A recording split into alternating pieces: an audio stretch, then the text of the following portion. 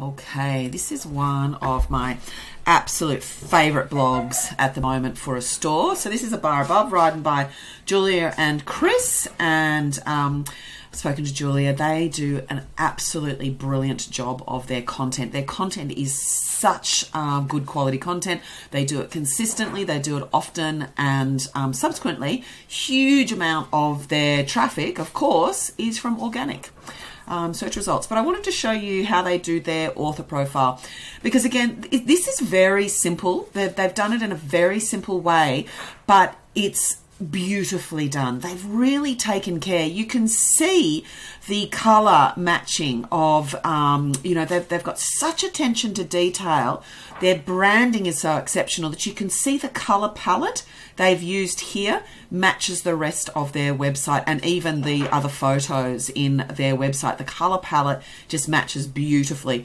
Simple circle, which is fine meet Chris and Julia, so it doesn't have their last names. Um, you know, they're just the founders, the ultimate resource. So it's very, very simple. They haven't sort of said that, you know, they've worked for 50 years in London, you know, being bartenders or whatever it might be. They haven't done, you know, certifications and MBAs and, you know, degrees in, you know, running businesses like this. But you can see that their love for it because they've got the background there, which looks fantastic.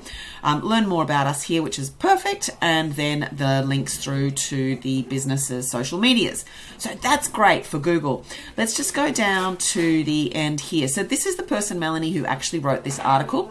And again, um, so you can do an author profile, you can do a sort of a store profile or a business profile in the top um, of your side column, and then down the bottom of your article articles, you can do, you know, just a more personal one.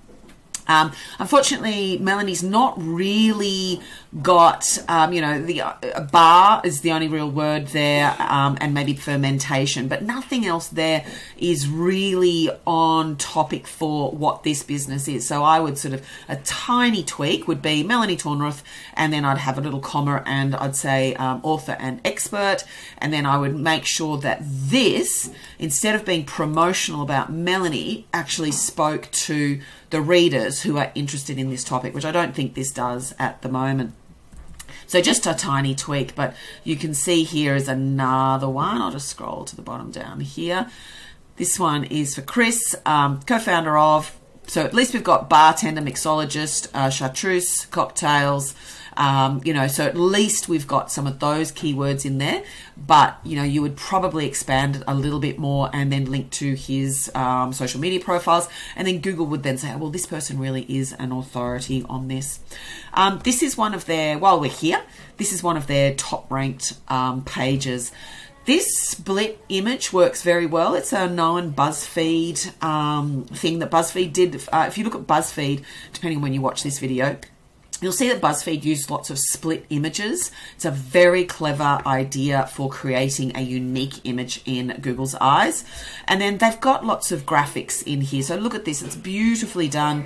They've pushed in a big email subscription because they know that this page receives a lot of traffic. This is this page here.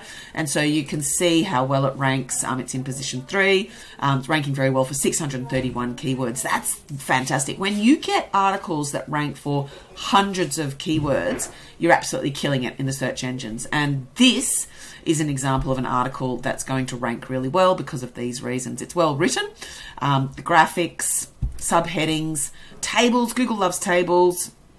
Um, percentages, you can sort of see numbers, percentages, um, uh, not percentages, but um, you know measurements in here. Google loves numbers, um, and a bit of bold for readability. So it's a beautifully constructed article, um, and then also the comments. So I think that this kind of interaction with comments um, really helps to assist articles, but you just can't have spam in there.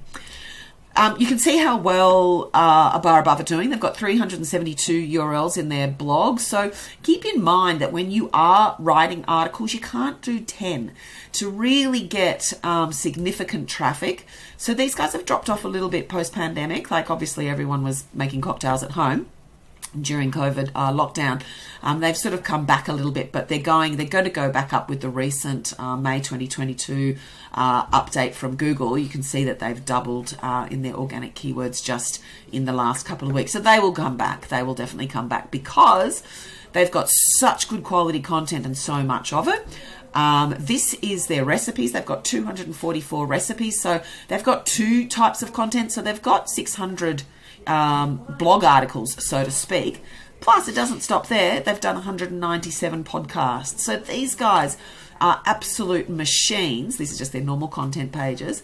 But, you know, they're, they're close to what, 800, 900 pieces of content in their website. So they're absolute machines at this. But they also know how to construct very high quality content um, that ends up ranking really well. And you can see that through here. If I was just to sort of go product, um, you can see that a lot of their content here, um, a lot of their top pages is just their content. So they're very, very good at what they do.